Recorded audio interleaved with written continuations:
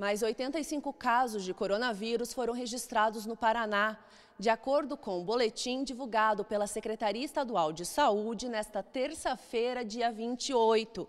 Agora, o estado já soma 1.271 pessoas que testaram positivo para a Covid-19.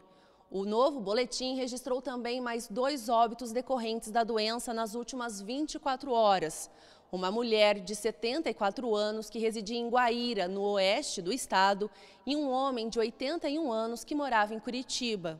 E para conter o avanço da doença aqui no Paraná, o governador Carlos Massa Ratinho Júnior sancionou nesta terça-feira uma lei que torna obrigatório o uso de máscaras enquanto durar a pandemia do novo coronavírus.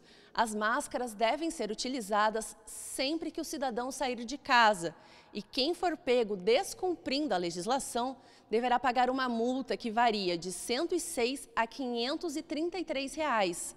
A lei obriga que as empresas também forneçam máscaras gratuitamente aos seus funcionários.